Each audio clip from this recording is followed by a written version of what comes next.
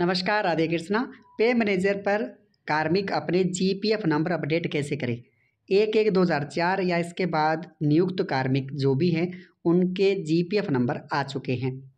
और आपके डीडीओ ने या पीओ महोदय ने बोला भी होगा कि आप अपनी पे मैनेजर आईडी से रिक्वेस्ट सेंड करें। अगर नहीं बोला है तो भी आपको ये काम करना है। तो सबसे पहले जान लेते हैं कि आपका जीपीएफ नंबर, जो आया है, उसका मिलान करना अनिवार्य है। एसएसओ पे चलते हैं।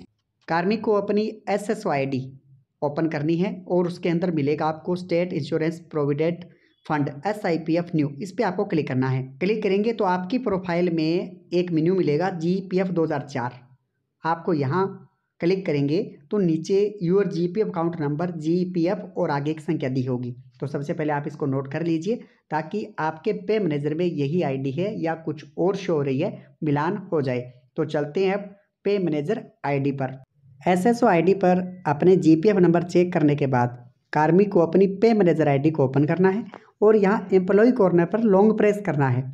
लॉन्ग प्रेस करेंगे तो यहाँ बहुत सारे मेन्यू आएँगे। आपको तीन नंबर पे जो मास्टर डाटा रिक्वेस्ट दिखाई दे रहा है, यहाँ फिर से लॉन्ग प्रेस करेंगे। सीधा क्लिक मत कीजिएगा तो बार बार यही इंटरफेस आता रहेगा और आपको लगेगा साइट नहीं चल रही। यहाँ भी आपको जो ऑप्शन दिखाई दे रहे हैं, उनमें तीन नंबर वाला। अपडेट नंबर डिटेल रिक्वेस्ट है, यहाँ आप क्लिक करेंगे। क्लिक करने के बाद एक नया इंटरफेस आपके सामने आ जाएगा। यहाँ आपको एडिट का ऑप्शन दिखाई दे रहा होगा। आपको सबसे पहले यहाँ क्लिक करना है। क्लिक करने के बाद जहाँ जहाँ आपसे क्लिक हो पा रहा है, जैसे PAN number, Aadhaar card, mobile number, ये सब चीज़ आप यहाँ से अपडेट कर सकते हैं। अब आपको यहाँ नीचे जी नंबर का मिलान करते हुए अपडेट पे क्लिक करना है। अपडेट पे क्लिक करेंगे तो आपके सामने एक नया इंटरफेस आएगा, जहाँ जनरेट ओटीपी पे क्लिक करना है और आपके मोबाइल पे जो ओटीपी आए, उसे एंटर ओ कोड यहाँ दर्ज कर दीजिए। इसके बाद चूज़ फ़ाइल, यहाँ क्या करेंगे? आप चाहें तो एस एस से जो आपका जी पी एफ़ नंबर आया है, उसका स्क्रीनशॉट लेकर यहाँ अपलोड कर सकते हैं। लेकिन बेटर ये रहेगा कि आप डी डी महोदय के नाम एक एप्लीकेशन दर्ज करें।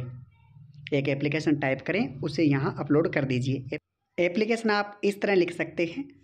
शो में श्रीमान डी डी महोदय, फिर ज़िला, जो भी है आपका, और उसके बाद विषय पे मैनेजर पर जीपीएफ नंबर अपडेट करवाने बाबत। और उसके बाद महोदय, नंबर निवेदन है कि आप अपना पद, नाम GPF number employee ID mobile number वगैरह जो देते हुए एक अच्छी सी एप्लीकेशन दर्ज कर दीजिए, लिख लीजिए और उसके बाद उसे अपलोड कर दीजिए। अपलोड करने के बाद नीचे आपके यहाँ एक नया इंटरफेस आएगा, जिसमें फॉरवर्ड टू डीडीओ लिखा होगा और जैसे ही डीडीओ द्वारा इसे अप्रूव कर दिया जाएगा या रिजेक्ट कर दिया जाएगा या कोई भी एक्शन होगा तो यहाँ रिपोर्ट उसकी आ जाएगी।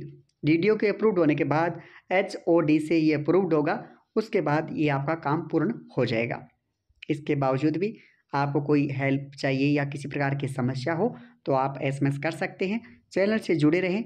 यहाँ चैनल पे सभी शिक्षक हैं तो आप भी जुड़ें, वीडियो को शेयर करें। धन्यवाद।